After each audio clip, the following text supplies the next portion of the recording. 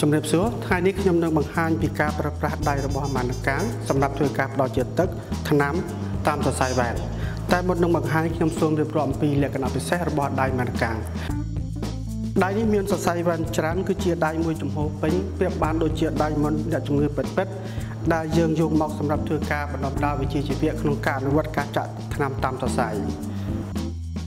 ដែលនេះវាមានភាពងាយស្រួលក្នុងការផ្លាស់ប្ដូរផ្នែកជាមួយទៅមួយហើយយើងអាចធ្វើការម្ដងម្ដងបានជាច្រើនឆ្នាំប្រសិនបើយើងថែរក្សាបានត្រឹមត្រូវនៅក្នុងវីដេអូនេះផងដែរខ្ញុំនឹងបង្ហាញពីសរសៃវ៉ែននៅលើខ្នងដៃនិងសរសៃវ៉ែននៅលើកន្លាក់ដៃនៅដើមដៃនៅលើខ្នងដៃយើងអាចមើលឃើញសរសៃវ៉ែនដូចជាសរសៃដូហ្សាលដែលមានចំនួន3សរសៃសេហ្វាលិកនិងសរសៃបាសាលិក ចំណែកឯផ្នែកខាងដើមដៃនៃកន្លាក់ដៃវិញយើងអាចមើលឃើញសរសៃវ៉ែន Sevalic, Basilic, Meya និងសរសៃវ៉ែន Capital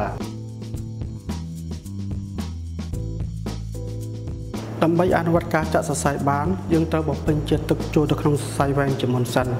យើងត្រូវភ្ជាប់ខ្សែសរោមជាមួយនឹងសរសៃវ៉ែនមួយណាក៏បានរួចហើយយើងបង្ហូរជាតិទឹកឲ្យពេញសរសៃវ៉ែនទាំងស្រុង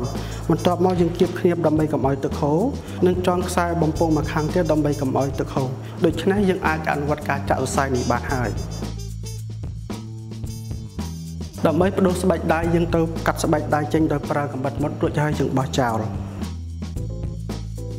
ដើម្បីបដូរសរសៃវ៉ែនយើងត្រូវ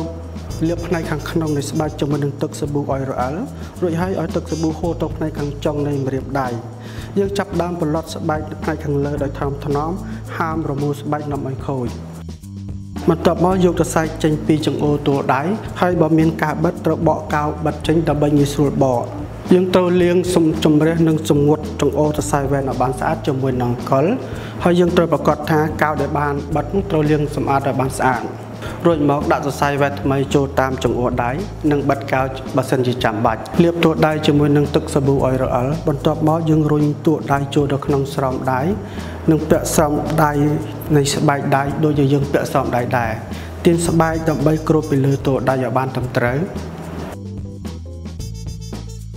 ដើម្បីថែទាំនិងថែរក្សាដៃម៉ានកាំងឲ្យបានស្អាតយើងត្រូវសម្អាតដៃម៉ានកាំងនេះជាមួយនឹងសាប៊ូដែលមានកម្រិតស្រាលជាមួយនឹងទឹកហើយយើងដាក់ដៃម៉ានកាំងនេះទៅលើតែប្លង់ស្អាតជៀសវាងប្រើប៊ិចឬហ្វឺតឬសារធាតុផ្សេងៗដែលធ្វើឲ្យដៃម៉ានកាំងនេះប្រឡាក់ដើម្បីធានាឲ្យការប្រើប្រាស់ដៃនេះឲ្យបានយូរយើងត្រូវធ្វើការសម្អាតដៃនេះរៀងរាល់ការបណ្ដុះបណ្ដាលម្ដងម្ដងឲ្យបានទៀងទាត់ បង្ហូរជាតិទឹកចេញពីសរសៃវ៉ែនឲ្យអស់រួចហើយទុកឲ្យស្ងួតនិងធ្វើការសម្លាប់មេរោគដោយ solution osaval ឬ bleach ដែលមានកំហាប់ស្រាលជាមួយនឹងទឹកមុននឹងអនុវត្តយើងត្រូវលាបម្សៅតាល់តិចតិចដើម្បីងាយស្រួលក្នុងការអនុវត្តនិងរក្សាគុណភាពឲ្យបានល្អបន្ទាប់ពីការអនុវត្តរួចយើងត្រូវយកដៃទុកដាក់ឲ្យបានត្រឹមត្រូវ